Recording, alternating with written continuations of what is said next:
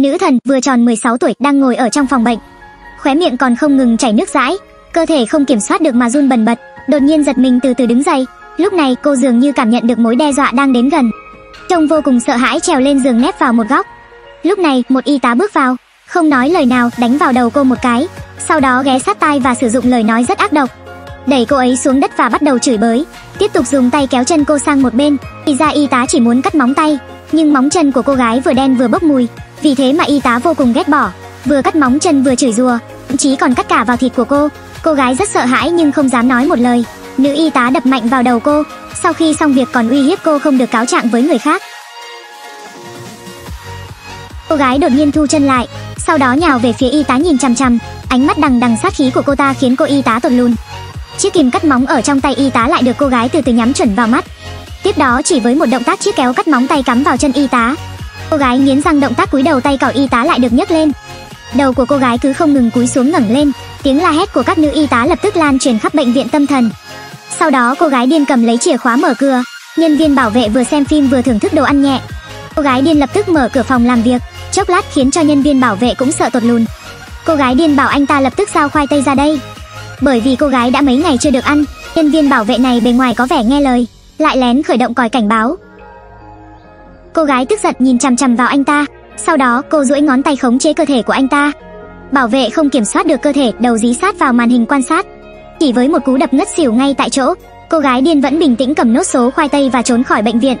Cô ấy đã bị nhốt ở đây đã 10 năm, hôm nay cuối cùng cô cũng có thể nhìn thấy được thế nào là mặt trăng. Sau đó cô một mình bước đi trên một con đường tối. Đi được nửa đường thì gặp mấy thanh niên, một người trong số họ đưa cho cô chai bia, cô gái tâm thần uống ực một hơi, một cô gái tốt bụng cũng đưa cho cô đôi giày. Cô gái tâm thần vừa đi vừa thưởng thức phong cảnh ban đêm. Pháo hoa bên kia khiến cô dừng lại rất lâu, sau đó lại đến khu vực trung tâm thành phố. Cô cô đơn một mình ngồi trên phố, không biết đi đâu về đâu. Cảnh sát bên kia cũng nhận được thông tin cô gái điên mất tích. Lúc này cô gái điên đang đi lang thang khắp nơi như ăn xin vậy. Một lũ côn đồ khiến cô cảm thấy vô cùng sợ hãi. Cô nằm bên cạnh cổ điện thoại và quan sát rất lâu. Sau đó cô lấy hết dũng khí từ từ bước tới. Món khoai tây ở trong tay của tên côn đồ đã thu hút sự chú ý của cô. Đứng ở trước mặt tên đàn ông lâu vậy rồi, nhưng tên côn đồ chẳng có chút cảm tình nào, thậm chí còn không cho cô ấy dù một miếng. Cô gái điên không nhịn nổi chỉ đành đi tới cửa hàng lấy đồ ăn. Đang định đi thì bị ông chỉ gọi lại. Cô gái điên vẻ mặt hoang mang nhìn ông chủ không biết tốt xấu này. Trong lòng nghĩ bà đây ăn đồ từ trước tới giờ không cần trả tiền. Chính vào lúc cô chuẩn bị tung ra thần công, tên côn đồ ở bên cạnh nói sẽ giúp cô trả tiền. Cô gái điên còn tưởng rằng bản thân gặp được người tốt. Thực chất là tên côn đồ này lại thích gương mặt ngây thơ của cô. Chuẩn bị đưa cô vào nhà tận hưởng vui vẻ.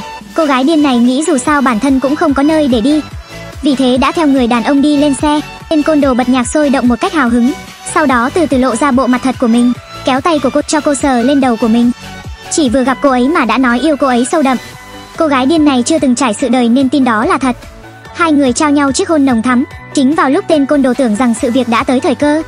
Chuẩn bị tiến hành bước tiếp theo, nhưng cô gái điên trong lòng lại chỉ nghĩ tới ăn khoai tây. Lấy một nắm và nhét vào miệng, tên côn đồ cũng nhanh chóng cầm lon bia lên, định khiến cho cô say rồi mới làm đại sự. Cách đó không xa cảnh sát đang truy tìm bệnh nhân mất tích. Tên côn đồ trên xe không biết, cô gái bên cạnh là một kẻ tâm thần vừa trốn thoát khỏi bệnh viện. Thấy cô có vẻ đã say, tên côn đồ không đợi được nữa mà cởi áo. Không ngờ cô gái điên cầm lấy áo rồi bỏ chạy, ấn hàng dâng tới trước mặt rồi lại mất, suýt chút nữa tức tới mức thổ huyết. Cảnh sát bên cạnh cũng phát hiện ra cô gái đang bỏ chạy. Anh ta đuổi theo suốt dọc đường tới bên cạnh chỗ container. Phát hiện cô gái đang run rẩy trốn ở trong, cảnh sát lấy còng tay ra và nói muốn đưa cô ấy đi ăn tối. Đương nhiên là cô gái điên sẽ không đưa tay chịu trói như vậy. Chỉ với một chiêu đưa tay lên đầu, súng trong tay cảnh sát cũng làm theo. Cảnh này khiến cho anh sợ tới mức ngã ra đất. Sau đó, cô gái điên đến bên ngoài cửa hàng gà rán, dán mặt vào tấm kính nhìn người khác thưởng thức đồ ăn. Ngay sau đó, từ phía sau truyền tới một tiếng động lớn.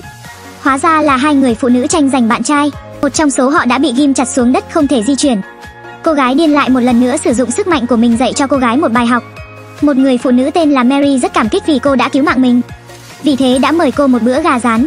Cô gái điên đơn thuần cho rằng mình đã gặp người tốt. Không ngờ người phụ nữ này cũng rất nham hiểm.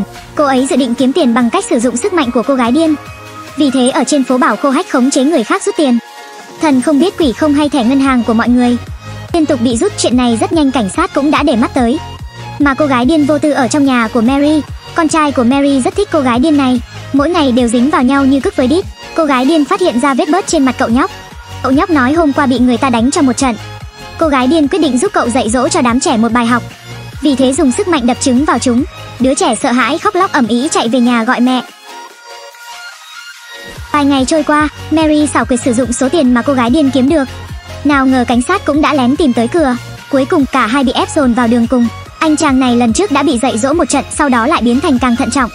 Đứng ở đường lớn ném còng tay cho Mary, uy hiếp cô còng tay cô gái điên lại. Mary dứt khoát lấy còng tay còng tay cô gái điên lại. Không ngờ lại bị cô gái điên dí đầu đập cho một trận. Sau đó bỏ tất cả tiền vào túi của mình. Cảnh sát cách đó không xa đã nhanh chóng lấy ra một chiếc xương gà. Còn ảo tưởng đây là pháp bảo có thể phá bỏ được sức mạnh của cô. Cuối cùng phát hiện căn bản là vô dụng, ngược lại tay của anh ta còn bị dính chặt trên hàng rào. Cảnh sát thấy cách gì cũng không được, vì thế anh ta dùng những lời mật ngọt dụ cô, nói muốn cô ấy tìm được một nhà tốt để nuôi. Cô gái điên trải qua nhiều việc lúc này đã không còn tin bất cứ ai nữa. Trong mắt cô trên đời này không có người tốt, quay trở lại muốn đưa theo con trai của Mary chạy trốn. Khi được nửa đường lại gặp tên côn đồ si mê bản thân tối hôm trước. Cô gái điên lúc này quyết định tạm thời nương nhờ anh ta. Vì vậy anh ta cũng giả bộ đồng ý cô làm bạn gái anh ta. Tên côn đồ vì để nhanh chóng có được cô gái, mỗi sáng thức dậy đều làm bữa sáng cho cô, thậm chí còn giúp cô chăm chút vẻ ngoài, chuẩn bị cho cô một thân phận giả để rời khỏi đây. Bởi vì cô gái điên đã trở thành tội phạm bắt cóc trẻ em bị truy nã. Nếu như không sớm rời đi chắc chắn sẽ bị bắt. Cảnh sát bên này cố gắng lấy thông tin từ chỗ Mary, nhưng Mary lại chẳng biết chút manh mối gì về cô gái điên. Lúc này, cô gái điên dùng mỹ nhân kế, lừa tên cô đồ làm giả thân phận cho cô. Cô chuẩn bị đưa theo con trai Mary rời khỏi thành phố này. Nào ngờ cậu nhóc lúc này nhớ mẹ, vì thế mượn cớ đi vệ sinh liền gọi điện cho Mary. Kết quả là cảnh sát đã tìm ra được vị trí của hai người. Họ ngay lập tức điều động một chiếc xe cảnh sát đuổi theo. Lúc này cô gái điên chuẩn bị lên máy bay, cậu nhóc dường như cảm nhận được nguy hiểm, vì thế chạy tới chỗ một người phụ nữ nắm tay cô ta. Sau đó hét lớn với cảnh sát đây là người mà họ muốn tìm. Cô gái điên thành công qua được cửa soát vé. Đây là lần đầu tiên trong đời cô lên máy bay. Ông chú bên cạnh nhiệt tình dạy cô cách thắt dây an toàn. Cô gái điên ngồi xuống cảm thấy máy bay bay quá chậm. Vì thế cô dùng sức mạnh của mình, chỉ thấy toàn thân cô run rẩy dữ dội, máy bay cũng tăng tốc với tốc độ như tên lừa. Điểm đến trong chuyến bay của cô gái điên không phải là thành phố nào hết, mà là đi tới mặt trăng xa xôi. Đây là nơi cô ấy khao khát đi tới. Nếu các bạn thích bộ phim thì đừng quên thảm tim cho tôi nha. Cảm ơn mọi người đã xem video. Bye bye.